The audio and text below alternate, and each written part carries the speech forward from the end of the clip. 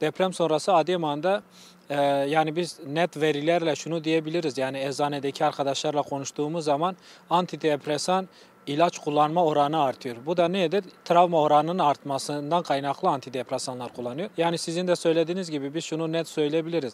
Depremden sonra Adıyaman'da e, ne tür sağlık sorunları arttı? En öncelik e, strese bağlı, kaygıya bağlı e, psikolojik ve ruhsal sorunlar oluştu. Şu an depremden sonra 20. aydayız. Ama Adıyaman'da bir şey değişti mi? Çok büyük bir şey değişmedi. Adıyaman'da hala toz ciddi bir problem. Çünkü şu an Adıyaman'ın her yeri inşaat. Adıyaman bir şantiye kenti memleketi haline döndü. Her şantiye kendinle birlikte bir toz durumunu oluşturuyor. Ve Adıyaman'da şu an altyapı. Sokaklara gezdiğiniz zaman araçlarla hareket edemeyecek bir durum var Adıyaman'da. Altyapı çalışmaları. Yani depremin ilk aylarında yıkımlardan kaynaklı ciddi bir toz durumu vardı. Şu an yıkımlar e, tamamen bitmemiş ama %10'luk %5'likle ifade edilebilecek çok az bir sayı. Yani son mahkemelerden mahkemenin vermiş olduğu işte orta hasarlıların ağır hasarıya dönüşmesi ve ona bağlı olarak şu an he, yıkım sayısı azaldı ama altyapı çalışmaları devam ettiği için bir toz durumu hala devam ediyor. Biliyorsunuz bir de Adıyaman'ın kuzeyinde bir e, kent tekrar oluşuyor. 21 konuta yakın bir konutun oluştuğu e, İndere Tokyo evlerin dediğimiz yer kentin kuzeyinde yer alıyor ve yukarıda oradaki şantiyelerden ya inşaattan kaynaklı kente sürekli bir toz durumu ve bu toz durumu da haliyle ister istemez e, insanlarda ciddi bir sağlıksız durumu oluşturuyor. Ya bugün hastaneye gittiğimiz zaman işte en yoğun olan polikliniklerden bir tanesi e, göğüs hastalıkları polikliniği, enfeksiyon hastalıkları, dahiliye, e, kardiyoloji bunların çoğu da e, şeydir tozdan kaynaklı hastalıkların tetiklediği ve sonrası başvurulan branşlar. İçme suyu problemi şu an var. Çünkü siz şeyi söylediniz hastalıklar ve şey durumu.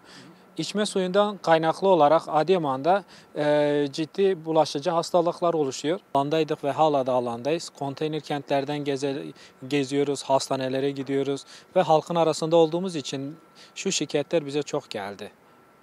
İşte e, kadınların, gebe kadınların düşük yapması, işte kadınsal hastalıkların arttığı, yani bu tabii ki de haliyle oluşması son derece normal. Çünkü 100 yılın depremi yaşandı ve ciddi bir travma ve şu an e, sağlıksız olmayan koşullarda yaşam sürdürüyor. Nedir bu sağlıksız olmayan yaşam koşulları? Adıyaman e, bir konteyner kente dönüşmüş bir yapıda 21 metrekarelerde insanlar yaşamını devam ettiriyor ve bu yükün en çoğunu da kadınlar çekiyor. 21 metrede ne kadar bir yaşam olabilir? İşte erkek şiddetinin artması ve bu da kadınlara bir düşük oluşması, deprem travmasının devam etmesi, hijyenik olmayan ortamlarda yaşamın devam ettiğinden dolayı kadınlarda ciddi e, gebe cevap yeterli değil. Çünkü neden? Çünkü e, şey depremden önce de Adıyaman'da sağlık altyapısı çok yetersizdi. Yani biz bunu her platformda, her yerde biz bunu dile getiriyorduk. Adıyaman'da çünkü e, afili hastaneler dediğimiz işte e, şu anki şehir hastanelerin önceki modellerinden bir tanesi ilk Adıyaman'da uygulandı. Birçok hastanenin kapatılması, sadece bir hastanede toplanması. Bu da Adıyaman'da görüldü. İşte Adıyaman'da 3 e, tane hastane kapatıldı. Eğitim araştırma ve 400 yataklı olarak tabir ettiğimiz bir hastanede birleştirildi. Ee, ve bu da haliyle sağlık altyapısının yetersizliğini oluşturdu. Depremden sonra da Adıyaman'da işte bir kadın doğum ve çocuk hastanesi vardı. O da hasar aldı. Hizmet veremeyecek bir durumda. Ee, zaten Adıyaman'da tek bir hastane vardı. Onun yükünü de o hastane.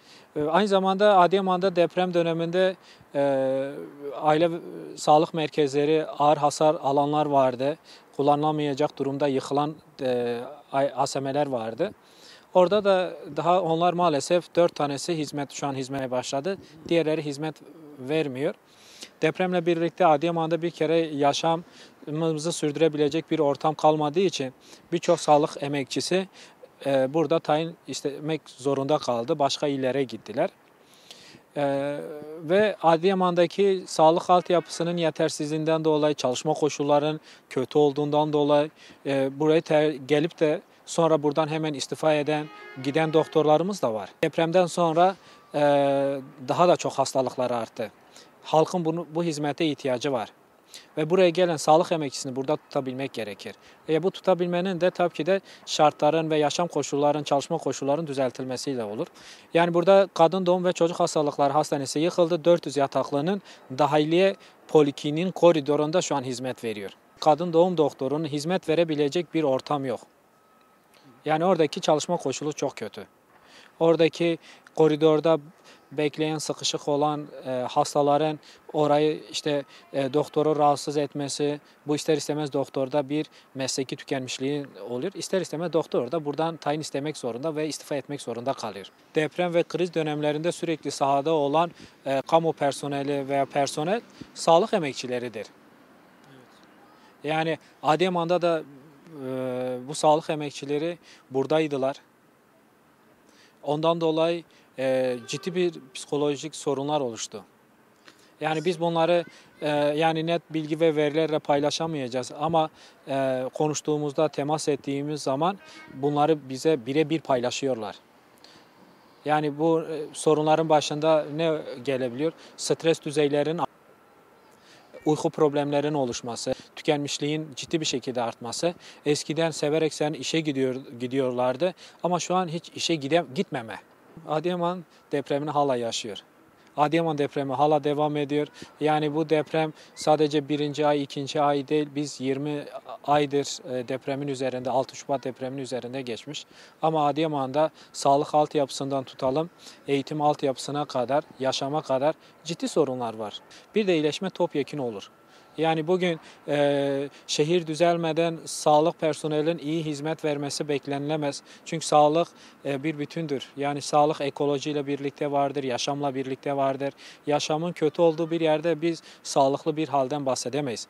Sağlıksız olduğu bir durumda da sağlık personelinin, sağlık emekçisinin durumunun iyi olmasından biz asla bahsedemeyiz. Ondan dolayı e, Adıyaman hala depremini yaşıyor. Adıyaman'ın bir an önce kalkılırsa her yerde Adıyaman halkı da mutlu olacaktır.